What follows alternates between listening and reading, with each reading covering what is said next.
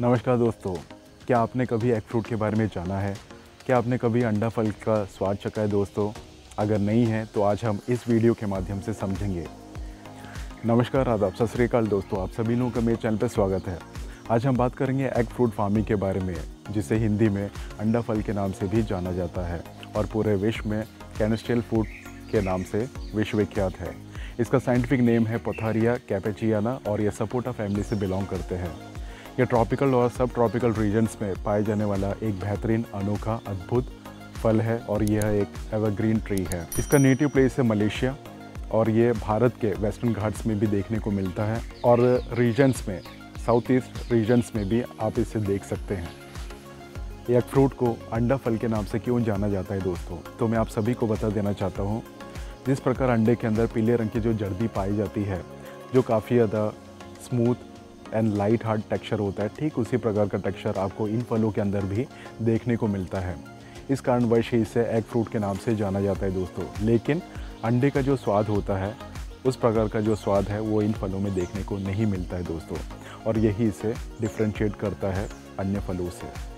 इन पेड़ों का जो हाइट है, वो तकरीबन 20 से 30 फीट का हाइट जाता है दोस्तों। इसकी जो कैनोपी होती है, काफ़ी ज़्यादा खूबसूरत होता है, ये काफ़ी ज़्यादा बुशी होता है, और इसकी जो शाखाएँ होती है, काफ़ी ज़्यादा फैली और विस्तृत होता है।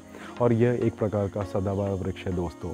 इन फलों का जो आकार होता है वो सेब की आकृति का होता है, इसका जो रंग होता है, वो येलो से ऑरेंज में कन्वर्ट होता है पकने के बाद में। इसका जो टेक्सचर होता है, वो बॉयल्ड एग के एग के योल्ट जैसा होता है, जो काफ़ी ज़्यादा स्मूथ और लाइट हार्डर टेक्सचर होता है। ठीक उसी प्रकार का टेक्सचर आपको इन फलों के अंदर भी देखने को मिलता है। किसी किसी फल में आपको एक सीड मिलने की आशंका बढ़ी रहती है तो किसी में दो से तीन सीड्स मिल भी जाता है। इसका जो पल्प है, यानी कि इसका जो गूदा है, वो हम मोस्ट प्रॉब्ली यूज़ करते हैं शेक्स बनाने में जूस बनाने में, या मिल्क शेक बना के, या मैंगो शेक में भी इसका उपयोग में लिया जाता है। और मनुष्य प्रायति के लिए एक रामबाण का काम भी करता है दोस्तों। आपको एवरेज जो इसका प्रोडक्शन है एक झाड़ से, वो 350 से 400 तक का होता है। जैसे जैसे साल बढ़ते जाता है, जैसे जैसे इन पेड़ों की उम्र होती है, वैसे वैसे आपको क्वांटिटी और क्वालिटी वाइज प्रोडक्ट भी आपको मिल जाता है दोस्तों। और इसका जो मेंटेनेंस कॉस्ट है वह भी ज़ीरो होता है। भारत में कमर्शियल तौर पे एग फ्रूट की जो फ़ार्मिंग है, वो काफ़ी ज़्यादा धीमा है और इसके ऊपर कभी फोकस नहीं किया है दोस्तों।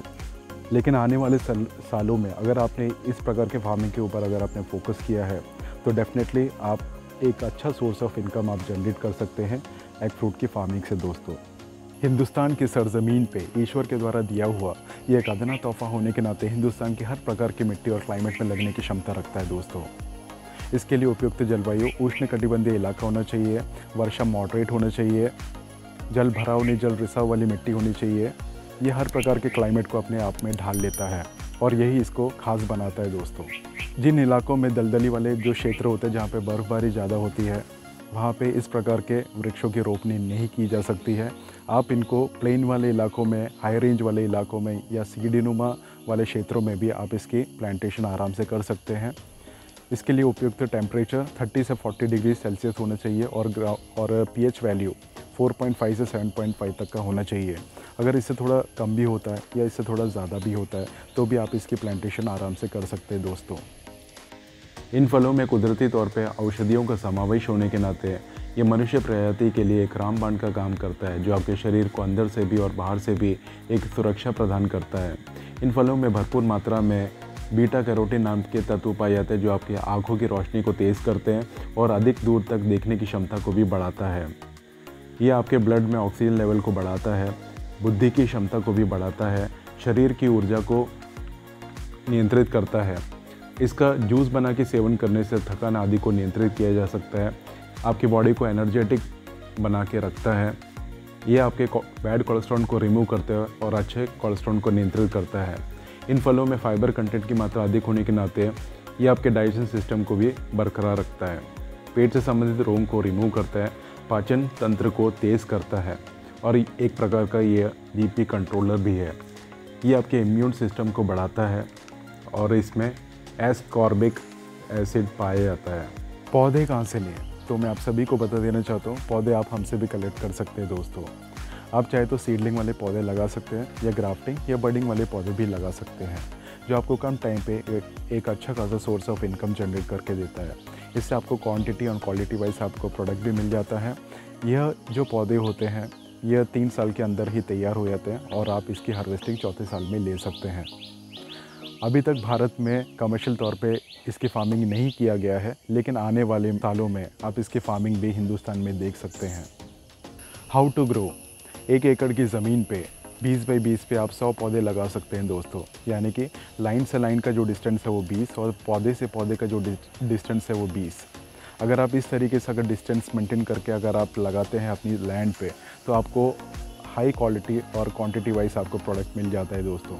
अगर आप इसे हाई डेंसिटी फॉर्म में अगर आप लगाना चाहते हैं तो आप 15 बाई 15 के हिसाब से आप 150 से लेके 160 पौधे भी आप लगा सकते हैं, जो आपको आगे चल के एक अच्छा सोर्स ऑफ़ इनकम जनरेट करके देता है दोस्तों। प्रॉफिट एंड एक्सपेंडिचर तो मैं आप सभी को बता देना चाहता हूँ, एक एकड़ की ज़मीन पे आप 100 पौधे भी लगा सकते हैं और 150 से 160 पौधे भी आप लगा सकते हैं। तो मैंने स्क्रीनशॉट दे दिया दोस्तों तो आप उसे आराम से पॉज करके देख सकते हैं दोस्तों। अगर आप अपने घर के आँगन में इस प्रकार के खूबसूरत वृक्ष को देखना चाहते हैं या इस प्रकार के फलों का लुफ्त उठाना चाहते हैं दोस्तों तो आप अपने आउटडोर प्लांट्स के तहत या खेतों में, खेतों के मेड़ों पर या इंटरक्रॉपिंग के तहत या ऑर्नामेंटल प्लांट के तहत भी आप इसकी प्लांटेशन कर सकते हैं और आप मुझसे भी पौधे कलेक्ट कर सकते हैं। तो मैंने अपना कॉन्टैक्ट डिटेल स्क्रीन पर दे दिया है डिस्क्रिप्शन बॉक्स पर भी दे दिया है। तो मेरे चैनल को लाइक करें, शेयर करें, सब्सक्राइब करें, खुश रहें, आबाद रहें। यही दुआ करता हूँ दिल से। जय हिंद, जय भारत।